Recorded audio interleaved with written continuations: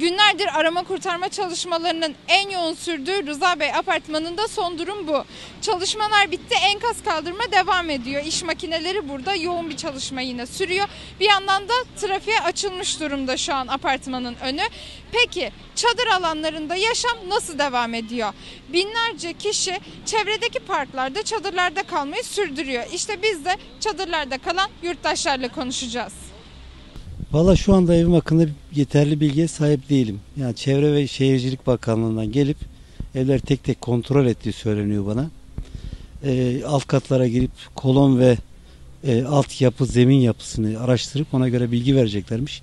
Ama kurumsal olarak nasıl bize ulaşacaklar? Biz nasıl kimlere e, soracağız? Tam bilgisi yok yani. Deprem sırasında evde miydiniz? Evdeydim. Tam o saati canlı canlı sıcak sıcak kızımla birbirimize sarılarak geçirdik yani. Sağ olun. Şimdi kaç gündür çadırdasınız? Ben hemen hemen dördüncü gün oldu buradayım. Tabii bu dört gün içinde e, bu milletin nasıl birbirine sarılacağını, nasıl birbirini kucakladığını gördüm. Demek ki bu millet için böyle şeyler sık sık olması gerek, hani olmasını istiyoruz da ama bir taraftan da istiyorum. Niye? Kucaklaşmak o kadar güzel bir şey ki o kötü şeyi bir tarafa atıp güzel olan şeyi görüyoruz yani. Peki şunu da soralım. Şimdi e, sizin binanızla ilgili bir hasar durumu önceden belli olan bir şey var mıydı? Hayır yoktu. Yani 91 senesinde yapılan bir bina. E, Gayet de biz daha önce yani kendi e, apartman yönetimi olarak bir e, bununla ilgili bir kurumla anlaştık. Geldiler incelemesini yaptılar. O zaman bize uygun raporu vermişlerdi. Ben şu anda da kötü bir şey olduğuna inanmıyorum. Yani bizim binamız sağlam olduğuna inanıyorum. Bakacağız. Yani Çevre Bakanlığı ne diyecek buna? Şimdi e, kiraları da aslında biraz araştırıyoruz. Bu durumda sizin bir bilginiz var mı? Var aslında ben tabii buranın 97'den beri burada oturuyorum. Ee, ilk etapta burada Ege Üniversitesi olduğundan dolayı öğrencilere yönelik çok pahalı raiç fiyatlar vardı. Yani bir daire 2000 lira, 2500, 3000 liraya kadar çıkıyordu. Ee, şu anda özellikle yukarı yukarı tarafta şöyle bakarsanız Atatürk Mahallesi diye bir mahalle var. Tabii kuruluş olarak daha sağlam bir yerde. Evlerin orada çok pahalandığını duyuyorum ben şu anda. En az bir 700 lira artış fazla artış olduğunu duydum. Bu da kötü bir şey, fırsatçılık yani. Peki evinize mesela bir hasar bildirimi yapılsa e, siz oralardan kiraya çıkabilir misiniz? Asla. Yani öyle bir durumda değilim. İşsizim zaten. Ee, pandemi dolayısıyla biz çok haksızlığa uğradık. Özellikle işçi sınıfı olarak. İlk önce ücretsiz olarak e, işten uzaklaştırıldık. E, ben aslında o esnada beni e, kalifiye eleman olduğu için, olduğum için beni yani tercih ettiler. Dediler seni gönderemeyiz falan. O grupta kaldım ama e, sonra ikinci etap bir dalga oldu. İşçileri aldılar tekrar işe. İnsanlar hastalığa tekrar yakalanmaya başlayınca ben kendim istifa ettim. E, bundan dolayı e, devletimizin bize verdiği bazı şeylerden yani kendim feragat ettim yani. Nedir? Şu anda işsizlik sigortamdan faydalanamıyorum. Dolayısıyla şu anda ayaklarım havada benim. Yani devletin benim arkamda değil. Bomboş öyle e, bankalardan aldığımız kredilerle kredi kartlarıyla o şekilde geçiniyorum yani. Borçla geçiniyorum evet. Yani sağ olsun devletimiz. Şimdi iş yerinde aslında koronavirüsü söylediniz hastalık harcı. Şimdi burası da kalabalık bir endişeniz var mı? Var tabi. Çünkü burada öyle bir ortam hani çok güvenli bir ortam olduğunu gösteriyorlar ama çok da güvenli bir ortam değil. Ee, burada çok bedava yiyecek olduğundan dolayı etrafımız fakir fukara kimse onları suçlayamaz. Ee, işte yiyecek giyecek e, temin edebilmek için geliyorlar buraya. Bu esnada insanlar iç içe. Ne mesafe var ne bir korunma önlemi var hiçbir şey yok. Ha daha yeni yeni uyandılar. İşte kapıda bir kontrollü ateş ölçüyorlar falan filan. E, bu da çok böyle önleyici bir şey olmuyor. Bu sefer sağdan soldan geliyorlar. Hırsız da geldi buraya. Yani zaman zaman burada çadırların soyulduğunu da duyuyoruz yani. İşte binamızda çatlaklar var. İki gündür uğraşıyoruz bunun için. Hani kimse gelmiyor bakmaya. Hani kaymakamlığa da gittim, mühendisler odasına da gittim. Herhangi bir gelen olmadı yani. Bakanlıktan kimse gelmedi bize. Hani ben apartmanın numaramı da yazdım. Çünkü bizim apartmandaki herkes burada kalıyor. Hani uzakta evleri olanlar uzağa gidiyorlar. Ama hani hiç kimse geri dönüş sağlamadı. Çatlaklar vardı değil mi? Evet evet apartmanda çatlaklar var ve hani kolonların eksik olduğu söylentisi vardı. İşte bakalım ne zaman geleceklerini bekliyoruz. Hani biz de buradayız. Burada her ne kadar hani şartları iyi olsa da yaşlı ebeveynlerimiz var. Hani koronavirüs var malum. Olmuyor yani. Endişeliyiz. Kolonlar ev, e, apartmanın içinde kolonlar mı? Ya apartmanın içindeki kolonlardan ziyade önde ve arkada dükkan var ve hani garaj var.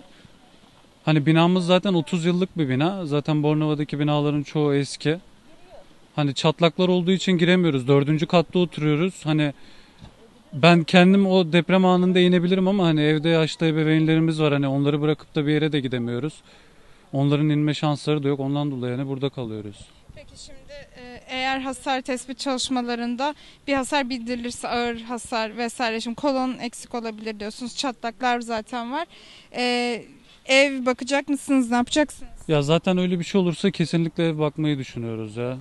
Hani yapacak başka hiçbir şey yok. Hani burada en fazla bir hafta durabiliriz. Kiralarla ilgili peki fikriniz var mı? Ya kiralar hani internette gördüğüm kadarıyla kiracıların arttırdığını duydum. Hani hoş bir davranış değil gerçekten. Yani onun dışında pek bir bilgim yok yani. Açıkçası biz 23-24 senedir burada oturuyoruz.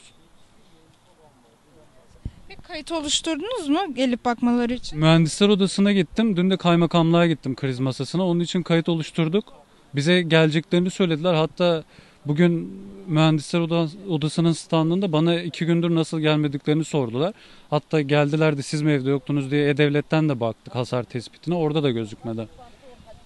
Binadaki herkes aynı durumda. E, Binadaki herkes aynı durumda. Hani binada çoluk var, çocuk var, yaşlılar var. İnsanlar hani çocukları için tedirgin oluyorlar artık. Hani kimse giremiyor korkudan.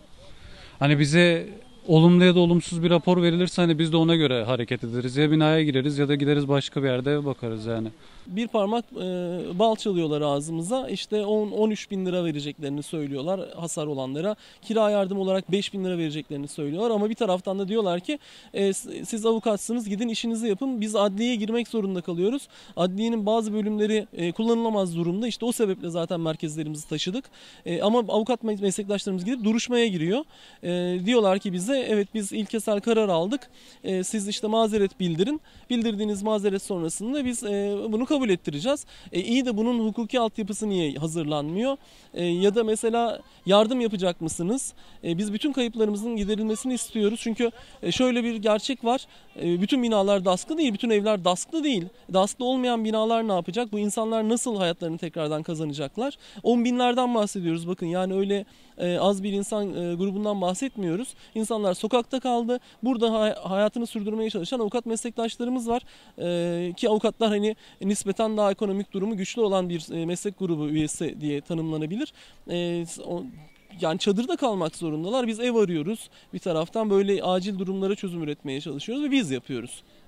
Şöyle bahsettiğiniz afet bölgesi ilan edilmesi de çok kritik çünkü e, bu belli yardımları da aslında beraberinde e, getiriyor. Şimdi vatandaşların kendi başlattığı yardım kampanyaları var, STK'ların sizlerin yardım kampanyaları var ama bir yandan da daha öncesinde toplanan deprem vergileri de gündeme gelmişti. 35 milyardan bahsediyoruz. Sizin bahsettiğiniz şu an 13 bin lira. Doğru Evet. mudur? Peki buna kıyaslarsak yani nasıl etkileyecek? Yani yeterli olacak mı? 2003 yılından bugüne kadar 17 yılda AKP hükümeti zamanında toplanan verginin bedeli 35 milyar dolar. Ee, Bugün itibariyle avukatlara, e, yurttaşlara, evsiz kalanlara e, vereceklerini söyledikleri para e, 1500 dolar. Yani e, işte hani çok gündemde olduğu için söylemekten e, çekinmiyorum. E, 50 bin dolarlık çantaların konuşulduğu bir yerde yurttaşa verilecek para e, bir çanta almaya yetmediği gibi e, onlarca yurttaşa verilen para bir çantaya belki zor yetiyor. Dolayısıyla e, e, sosyal devlet ilkesinin bir kere hatırlatılması gerekiyor. Sosyal devlet e, bu cumhuriyetin temel niteliğidir, anayasal e, ilkelerinden biridir. E, bunu e, daha önce de söyledim. E, hukuk devleti değiliz diyoruz sürekli. E, yıllardır bunun mücadelesini veriyoruz. E, hukuk devleti inşa etmeye çalışıyoruz bu güzel topraklarda. Ama şöyle bir gerçek var. Hukuk devleti olmadığımız gibi aynı zamanda sosyal bir devlet de değiliz. E, bunun da tam karşılığını bugün bu afet ortasında görüyoruz. E, çünkü e, sürekli iaşe mantığıyla, sadaka mantığıyla bir devlet yönetmeye çalışıyorlar. Bizim isteğimiz bu değil. Biz yurttaşlar olarak haklarımızı talep ediyoruz. Yurttaşları da haklarını nasıl talep edeceklerini göstereceğiz önümüzdeki günlerde. Biz e, İzmir Barosu olarak e, kimse kimsenin e, sadakasına muhtaç değil. Biz yurttaşların hakkı olanı almasını istiyoruz. Devlet sorumluluğunu yerine getirmeli. Eğer bu binalar güçsüzse, bu binalar riskliyse bu binaların e, yıkılması yurttaşların orada bulunan yurttaşların ekonomik güçleri e, boyutunda desteklenmesi ve dolayısıyla bu insanların yaşamının kurtarılması gerekiyor. Ne oldu? Yapılmadı. Bu yapılmadığı için insanları kaybettik. Yani o bebekler çıktığında biz gözyaşlarımızı tutamadık. E peki ölen bebekler niye gündeme getirilmiyor? Bebeklerimiz öldü. Çocuklarımız öldü. Kendi çocuklarımızla aynı parklarda oynayan çocuklar kaybedildi. 7 şiddetinde bir depremde e, dünyanın pek çok yerinde insanlar burnu kanamadan çıkıyor. O çatlaklar da olmuyor. Yani dolayısıyla bir deprem ülkesinde alüvyonal bir ovanın üstüne kurulmuş bir yerleşimden bahsediyoruz. Bayraklı tam öyle bir yer. Ee, ana e, derelerin etrafında e, tarım arazisinin yapılaşmaya açılarak insanların işte evlerini, e, ofislerini kurmalarına imkan tanınan bir yer. Ve dolayısıyla e, biz burada bu güvensiz ortamda e, yeni de yapılmış olsa en yüksek standartlara dair en yüksek standartları taşıyan binalar istemeliydik. Bunların sağlanması gerekiyordu. E, illaki yıkılacak, illaki kolonu kirişi e, çatlayacak değil. Hiçbir hasar çıkmaması gerekiyor. Çıkmadığı ülkeler var. Bu ülkelerin e, kuralları demek ki bunu destekliyor. Demek ki denetim mekanizmaları iyi işliyor. Biz dünyadaki en iyi sistem neyse yurttaşlarımıza bunu istiyoruz. Niye maddi hasarlı e, kayıplara uğrayalım? Hadi can canı bir yana bıraktık. E, bu binalar düzgün yapılmış olsaydı e, bu hasarları da uğramayacaktık ve e, bir inşaat ekonomisi inşa ettiler. Türkiye'yi bir inşaat ekonomisiyle çevirdiler yıllarca. E, bari onu iyi yapsalardı, bari kaliteli binalar e, üretselerdi, bari o e, haddinden fazla bire ürettiklerini 6'ya 7'ye sattıkları binalar bari sağlıklı olsaydı bunu da sağlamıyorlar. Ve işte bugün yaşadığımız bu e, felaketle bizi karşı karşıya bırakıyorlar.